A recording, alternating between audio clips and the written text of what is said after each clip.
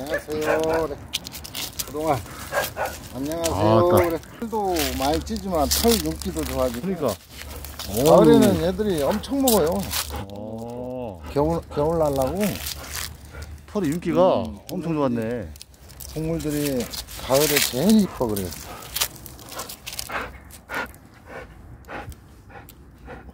통아 좋아 나오니까 어?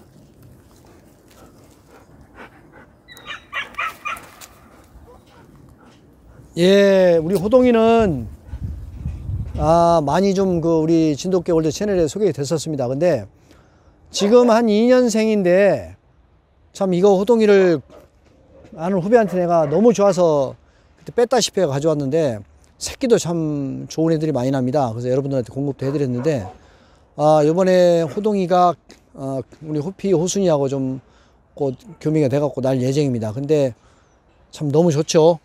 그래서 우리 호동이는 우리 호피 중에 아주 최고의 종견으로 아끼고 많이 하는 아, 최고로 아끼고 있는 아, 수컷인데 겨울 가을이라 돼서 그런지 색깔이 진해가지고 완전 오늘 보니까 진짜 호랑이 무늬가 그대로 나오네요.